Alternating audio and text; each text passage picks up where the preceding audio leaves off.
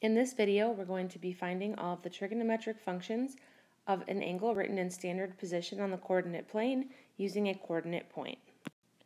Now just to refresh your memory on angles in standard position, they always start at the vertex, they go out with their initial side on the x-axis, they move counterclockwise as we're measuring, and then they have a terminal side that is somewhere around the coordinate plane. So the easiest way to really understand this concept is to dive in and take a look at the example in front of us. So here it says, let negative 4, 3 be a point on the terminal side of the angle theta. So what that's really saying is that we're going to plot the point negative 4, 3 and draw a standard angle that goes to that point. So we're going to go to x is negative 1, 2, 3, 4. y is positive 1, 2, 3. We're going to go to this location here. That's where our terminal side of our angle is going to be. And we're going to then from there draw a triangle and find all of the key components. So here I'm going to put the initial side of my angle.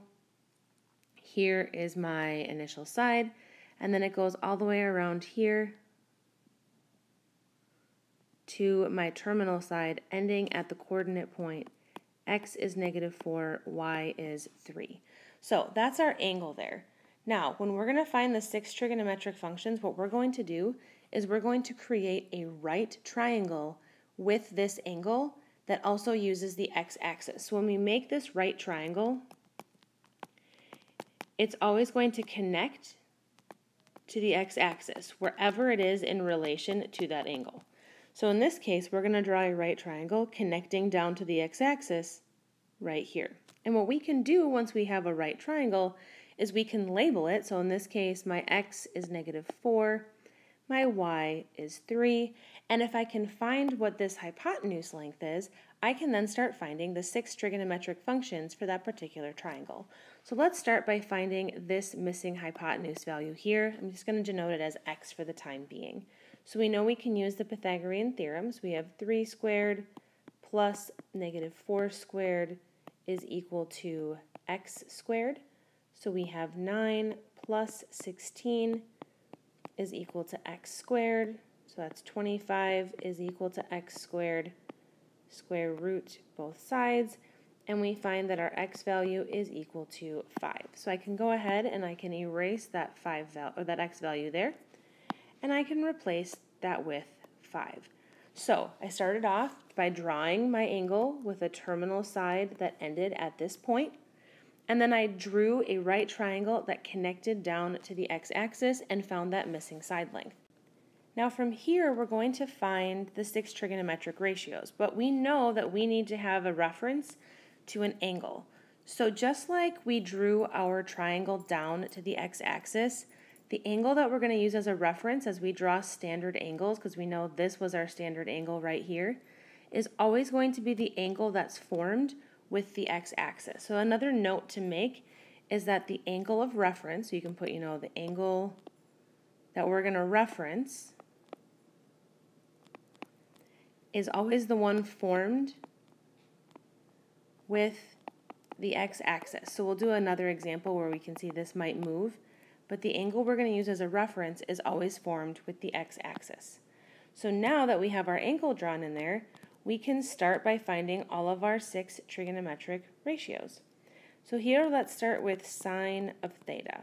So we know that sine of our angle is going to be opposite over hypotenuse. Well, opposite is here at across the angle at 3. So we have opposite over hypotenuse, which is 5. Then we move on to cosine of theta, which we know is adjacent over hypotenuse. Adjacent is immediately next to the angle, so that's negative 4 over 5.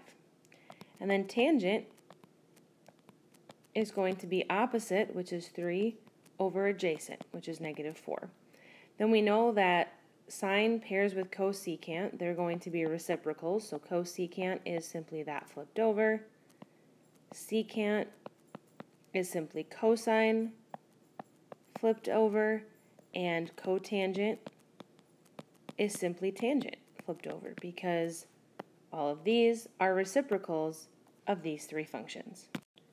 So let's try one more example here. It says let negative 2, negative 5 be a point on the terminal side of the angle. So we're going to start here in initial form, and we're going to go all the way to negative 2, negative 5. So x is negative 2, y is negative 1, 2, 3, 4, 5. So we're going to plot to this point right here. That's going to be our terminal angle.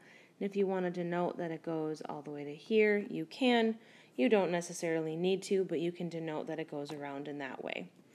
Now, as I said on the previous slide, we're always going to draw a triangle with this particular angle. So we've plotted this point of negative 2, negative 5. We've also drawn our terminal side of that angle, and now we're going to draw our triangle. Remember, we're going to draw a right triangle, and it's always going to connect to the x-axis, wherever it is. Now in this case, the x-axis is above the point, so we're actually going to go from that point and draw it straight up to the x-axis and draw our right triangle in there. So now we can see we have our right triangle. We also have a couple of side lengths on that right triangle that we can label. We know that the x here is negative 2 and the y here is negative 5. The last thing we need to note is that the angle of reference is always going to be the one that connects to the x-axis. So here we're going to have our angle right there connecting to the x-axis. So we at least have three pieces of our triangle. Now if we're going to find all six trigonometric ratios, we need to start by finding this missing side length, which is right here. So we're going to use the Pythagorean theorem to do that. So we have negative 5 squared plus negative 2 squared is equal to our missing value of x squared. So we have 25 plus 4 is equal to x squared. That's simply 29. Unfortunately, that's not a perfect square, so x is going to just be left as the square root of 29. So this third side length here is going to be the square root of 29.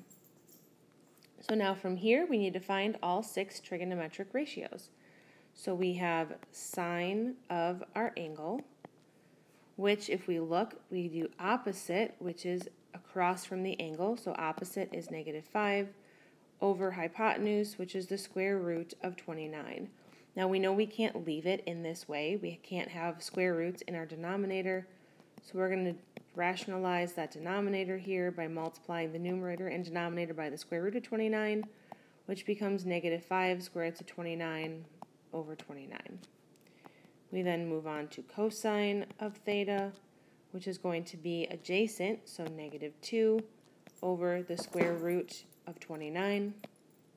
We need to rationalize that denominator, so we multiply it by the square root of 29 in the top and bottom. So we have negative 2 square root 29 over 29.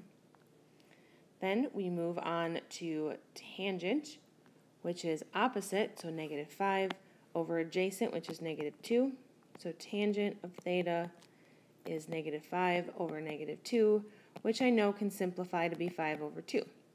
Then from here, my cosecant, secant, and cotangent are just reciprocals of these three. So cosecant is the reciprocal of sine. So that's just going to be the square root of 29 over negative 5.